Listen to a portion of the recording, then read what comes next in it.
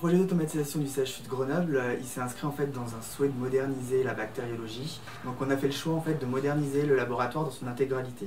Donc d'implémenter la spectrométrie de masse, mais aussi d'implémenter les nouvelles technos qui venaient d'arriver, c'est-à-dire euh, la chaîne qui extracte, l'ensemencement, mais aussi par le sans-papier qui est passé du coup par le module de microbiologie de Technidata sans papier.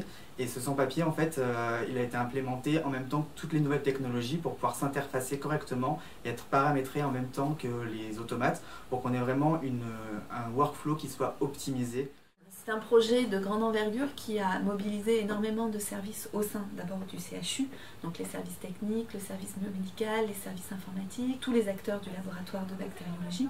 Et le deuxième niveau de collaboration, c'est avec les prestataires extérieurs, donc notamment la société BD Kiestra et la société Technidata pour la partie informatique.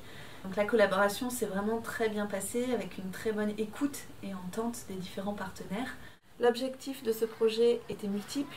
Il s'agissait de moderniser le laboratoire, euh, d'améliorer la traçabilité, la reproductibilité des ensemencements, de réduire le risque d'erreur et de contamination, mais également euh, euh, d'automatiser les tâches répétées sans valeur ajoutée pour le technicien.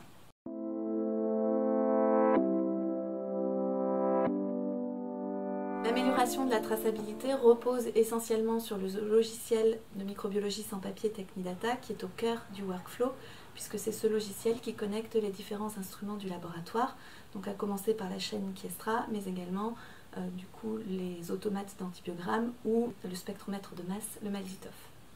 On se retrouve avec une traçabilité exhaustive de l'enregistrement du prélèvement jusqu'au rendu du résultat, en passant maintenant par l'étape de culture qui avant n'était pas tracée qui aujourd'hui, grâce à la chaîne Kiestra avec la lecture digitale, permet également une traçabilité de cette partie-là en fait, du dossier.